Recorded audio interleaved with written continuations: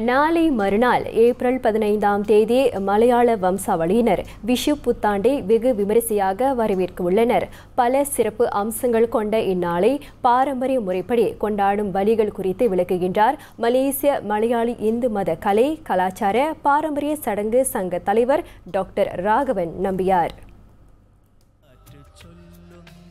கடந்த ஈராண்டு காலமாக எந்த ஒரு கொண்டாட்டத்தையும் சிறப்பான முறையில் அனுசரிக்க முடியாமல் போன நிலையில் இவ்வாண்டு அதன் கொண்டாட்டங்கள் பன்மடங்கு களை கட்டும் என்று டாக்டர் ராகவன் நம்பியார் கூறினார். விஷு என்றாலே மூன்று முக்கிய அம்சங்களை முன்னிறுத்தி அனுசரிக்கப்படும் ஒரு பண்டிகையாகும். விஷு கனி விஷு கைநீட்டம் மற்றும் விஷு சாத்யா ஆகிய மூன்று அம்சங்களை விவரித்த அவர் விஷு கனியின் சிறப்பு குறித்தும் இவ்வாறு விளக்குகின்றார்.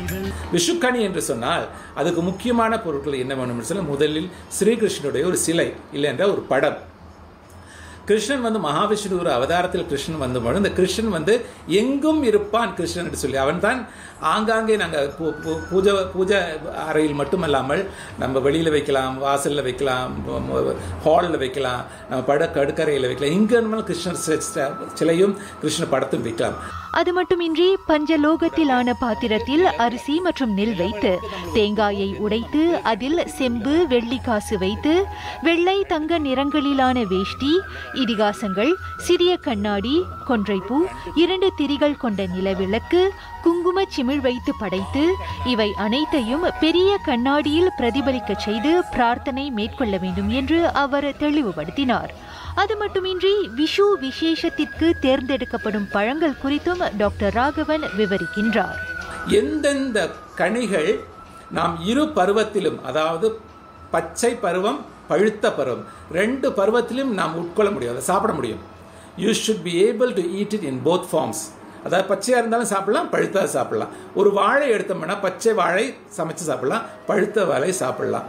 பழாப்பழம் பழா பிஞ்சு எடுத்தால் பழுத்து பச்சையை சாப்பிடலாம் பழுத்தது சாப்பிடலாம். ஒரு எலுமிச்சம் பழம் எடுக்கும்போது எலுமிச்சை காயும் சாப்பிடலாம் எலுமிச்சை பழம். மாங்காய் மாங்காய் சாப்பிடலாம் மாம்பழம் சாப்பிடலாம்.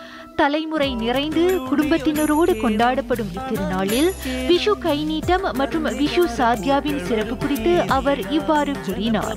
நம்முடைய மூத்தவர்கள் அங்கு இருக்கின்றவர்கள் அத்தனை பேரும் ஒரு நாளுக்கு மூத்தவராக இருந்தால் கூட அவர்கள் வந்து இரண்டு வெத்திலையில் இரண்டு பாக்கு வைத்து பணம் வைத்து நம்ம கொடுப்பார்கள். அதுதான் விஷு கை நீட்டம் இப்போ நம்ம கை நீட்டி கேட்க வேணும். எனக்கு வை விஷு கனி வேணும்னு சொல்லி கேட்கணும். அங்பாவுன்னு சொல்கிற மாதிரி விஷு கை நீட்டம் நம்ம நீட்டினோம்னா அங்கே இருக்கின்ற பெரியவர்கள் எல்லாம் நமக்கு எடுத்து கொடுப்பார்கள். எல்லோரும் காய் கனிகள் எல்லாம் இந்த மரக்கறிகள் எல்லாம் சமைத்து விஷு சத்யா என்ற இலையில் நாம் சாப்பிடுவது தான் விஷு சத்யா. அப்போ இந்த விஷு என்று சொல்லும்போது விஷு கனி விஷு கை நீட்டம் விஷு சத்யா. எனவே பிறக்கவிருக்கும் இத்திருநாளை பாரம்பரிய முறைப்படி அனுசரிக்கும்படி டாக்டர் ராகவன் அனைத்து கேரள வம்சாவளியினரையும் கேட்டுக்கொண்டார்.